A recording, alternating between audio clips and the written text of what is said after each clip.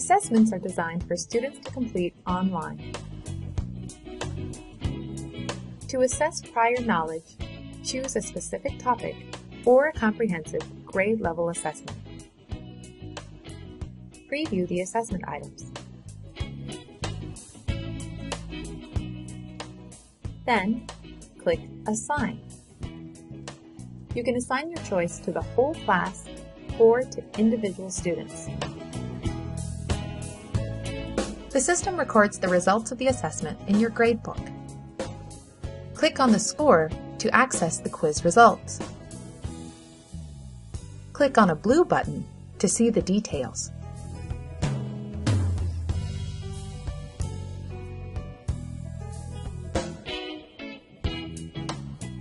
Notice that the system also automatically assigns individualized reteaching lessons from the print library. Students access these lessons from their own dashboards to print out or to complete online.